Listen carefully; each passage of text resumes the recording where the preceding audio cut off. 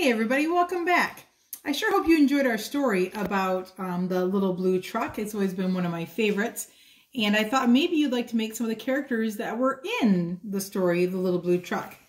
We have got um, all these cute little finger puppets that we made. All the characters that you know and love from the book. We have frog and sheep and horse and chicken and duck and pig and goat and of course cow. And um, there are, um, they're just made with felt. Um, some of them have tails on the back sides of them like goat and cow does. Um, pig has got a little curly tail on his backside.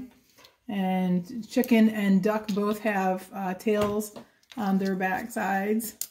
Um, horse has got a horsey tail.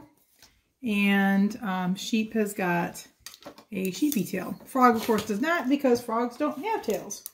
So that's okay. And then, of course, we couldn't make Little Blue Truck without actually making Little Blue Truck, and so we've done that too. So um, if we were in class, I would have printed off copies for you of all of our Little Blue Truck. But since we're not in class, I can't do that for you. But if you have access to the internet at home, you can print off a copy of Little Blue Truck. Um, we simply went to the website www.coloringpages slash kids slash com, C-O-M, um, and then the end of it.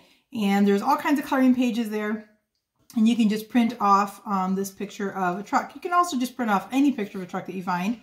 Um, and then you just want to color it in. I had my uh, children color in our copy for us. And they made theirs look just like blue. And then you want to cut out um, very carefully around the edges of your truck. Um, so it's just a silhouette and you can throw the other paper away. And then you want to find a box. Um, my kids found a Pop-Tart box that um, was just the right size of our cutout. You could also use a Kleenex box or uh, maybe the bottom half of a small cereal box. Um, even a Ziploc bag box would fit nicely. Um, and then uh, we covered this one with paper. We just cut off measured the paper to cover this one up. And then the one that we used in our show we actually covered with just plain contact paper, some contact paper I had left over from years ago when I lined the cupboards.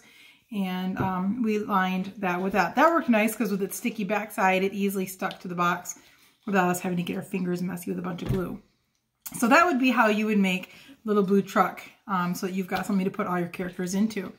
But how do we make our little finger puppets? Um, these can be as labor intensive or as simple as you would like them to be. If you want to make them really simple while you're online printing off your little blue truck, print off all the characters and then color them all in and then glue them to your popsicle sticks and you have easy, easy made puppets. Um, bad thing about paper puppets like that is that after a lot of intense play, they won't hold up for long. So um, I thought we could go something a little stronger. You could make them out of construction paper, but again, if you have um, a lot of intensive play or long-term play planned, they won't last as long either. So your best bet is to use felt. And um, I found some a variety of colored felt in my stash of craft supplies. And I cut off strips that were about um, six to seven inches long, and they were about originally two, two and a half inches um, wide. And what I ended up doing was I made a template. It looked kind of like, here's my pink one. Um, and I made a template out of some scrap paper, um, construction paper that I had. And all it really was is it kind of looks like a ghost, like what you would use for Halloween. Um, a long upside down U, if you like to look at that way. And then I just took my strip of felt paper, or felt, um, piece of felt, my colored felt, and I put the top of the U here at the folded part. And then I took my good fabric scissors that my children know that they are not allowed to play with because they're only for fabric and crafting, never for paper. And we just cut off the edges here to make a nice um, body shape for our finger puppet. And we can throw that away. And then, so there's your template and here's your easy um, body of your puppet. Now, depending on what puppet you're going to make, depends on what you're going to do next. If you're going to be making the ducks or the chicken or the frog, you have to put some things on the inside of your puppet. Um, you'd want to cut out like teardrop shaped, um, like the size of your thumb shaped um, felt for the wings. And then as you can see, I just um, serrated the edges here with the scissors to make their feathers. Um, and then on the frog, we just cut out um, little hands and little feet of additional green felt. The feet we actually glued to the front of his body, but his hands are glued on the inside. So if that would be your next step would be is you'd want to glue the inside. Now, I don't recommend um, your stick glue. That won't hold it. You can most certainly use um, regular school glue. It will take much longer to dry if you opt for that option. Or if you have crafting glue, you can use that too. That will also take a long time to dry. Um, so if you'd like to do this project with your children, um, then you can have them design it and you can get out the hot glue gun and you simply want to um, glue up along the edges and back down. But you want to make sure you leave the, the bottom open because that is the part where we put our fingers in or your popsicle sticks. And then just fold your felt on top of itself like so and press hard to seal. And that makes your piggy body just like so. Now we have to cut out some piggy ears. So you're going to want little scraps of the same colored felt. If you are doing like the horse, we did um, brown triangles. Um, for the sheep, we did um, little black U's. Um, the duck and the chicken don't have ears. Um, we use the same black ones for the cow and for the goat that we use for the sheep. The frog also doesn't have ears. So I cut out two squares. I laid them on top of each other so that the ears would be symmetrical just because I'm kind of OCD that way. And I just cut out another U shape kind of freehand. It's okay if they're a little wonky looking. Um, animal ears always look a little bit different. And we're going to want to glue these. Um, you can either tuck them on the inside before you glue it shut, or you can just glue them to the back of your finger puppet like so. And we're just going to attach them like that. Be careful not to burn yourself. I don't want anybody going to the emergency room for third degree burns. And there's your piggy ears. Now we need some eyes. So um, I have a whole bunch of these googly eyes in my craft supply bin, but if you don't, you can always cut out white circles and then use a Sharpie marker to make the, the black eyeballs, or you can um, use black felt, whichever you would like.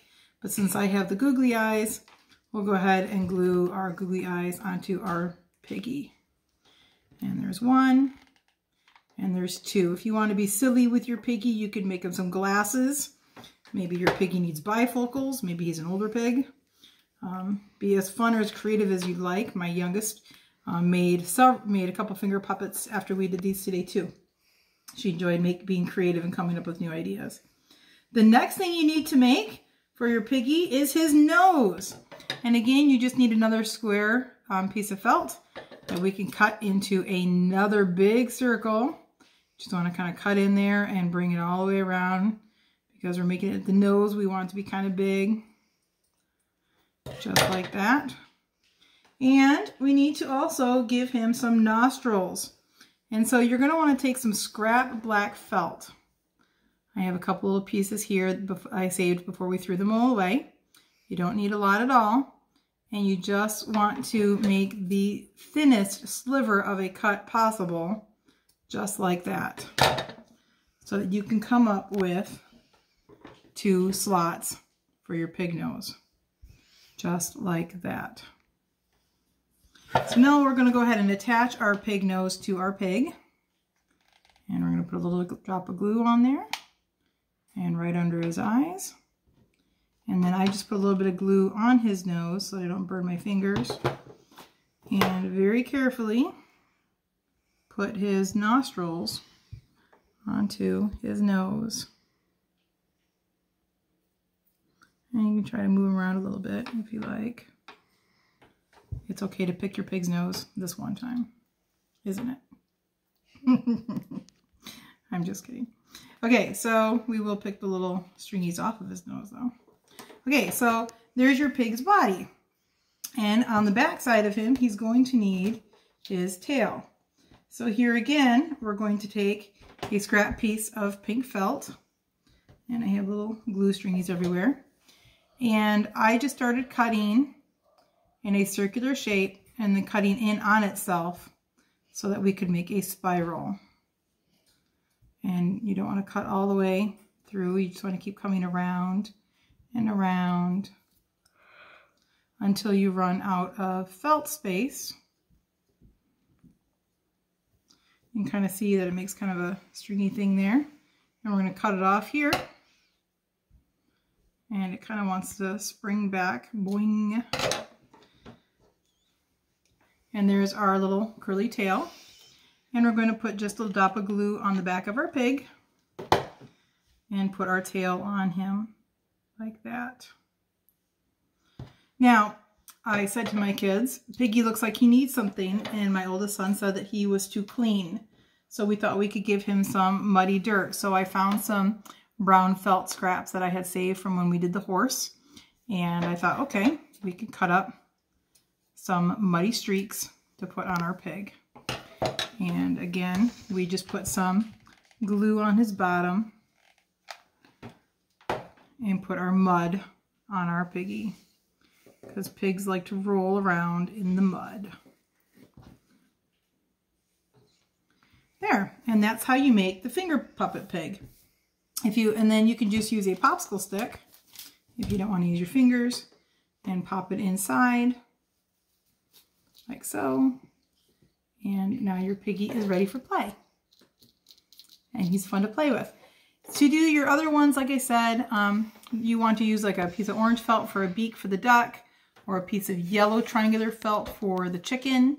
You can cut um, the little feather out of red for the top of the chicken's um, head. Um, for the cow, we made his nose the same way we did the pig's one. And I just cut out some black circles for spots for the cow. For the goat, I cut off some long black stri um, strips for his horns. And we also cut off a little um, gray piece and I serrated the edges of that too so that he could have a fluffy tail. I did that for the cow tail also. Just made it kind of long. For the horse, we just cut some yarn up for his mane and put him on the top. And then we cut some more yarn for his tail and made that one really simple. And for the sheep, we got some cotton balls and we cut them in half and then I cut them in half again because you didn't want it too big and fluffy because that would make the puppet really top heavy. Um, and we just kind of stretched him and flattened him out and then we glued the circle for his eyes on the top and a nose and then a cotton ball on his backside and a tail. The frog was probably the most complicated one that we did. Um, I got a different color green felt and I cut a half moon circle for his belly and I cut um, kind of a um, M-shaped top and then a U-shaped bottom out of this piece. And that became his face. And I cut out a red semi or half circle for the smile. And we even cut off little pieces of black for eyebrows for him to give him some expression. Um, again, his hands and his feet, they were cut from the same length of felt. They were about an inch and a half long. And then I just maneuvered my scissors around into an M shape um, to create the, the fingers and toes for his feet. His feet we actually glued um, with them being the long way up and then I glued them one more time folding them over so that would give them some depth and make it look like he was ready to hop. Um, so the frog was probably the most complicated one that I did. Oh, and I almost forgot, on our goat, we even found a black pom-pom in my craft bin, and we cut that in half to give him a little goat beard. So I think that's everything for our, our puppets. Um, I hope you enjoy making these finger puppets, um, whether you do it out of paper or construction paper or out of felt. Um, I hope you have fun playing with them and with your little blue truck as you relive the story of little blue helping the giant dump truck. And I'm thinking that in another week or so, I might read another story about a dump truck and then we'll do a fun dump truck craft idea then. So stay tuned for that. Okay, well, I hope you guys all have a great night and we'll see you next time. Bye-bye.